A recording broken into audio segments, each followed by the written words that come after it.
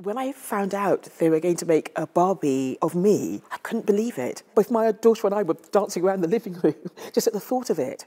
But all the details as well, things like the dress. The biggest challenge, I think, must have been the hair. And telescopes have featured greatly in my life. And so the fact that my Barbie is next to a telescope just seems very, very appropriate.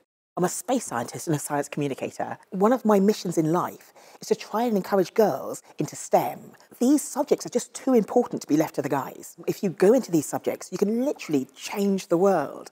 I work on things like climate change, trying to understand our planet, the James Webb Space Telescope, looking deep into space. These are things that everybody should be involved in. We need diversity.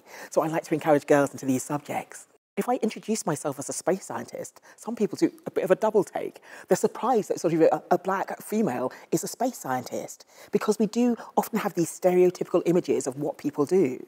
And I like to smash those stereotypes whenever I get the opportunity. Highlighting Dr. Maggie's exciting story is just one way we're showcasing STEM careers to girls. We are also introducing a new Barbie marine biologist doll to join our other STEM dolls, doctor, vet and scientist. I hope that many girls will be inspired when they see me and my Barbie. All my life I've wanted to get out there into space, but for some kids that's not what makes their heart sing. And I say reach for the stars no matter what your stars are. So I think have a big powerful dream and it will take you far.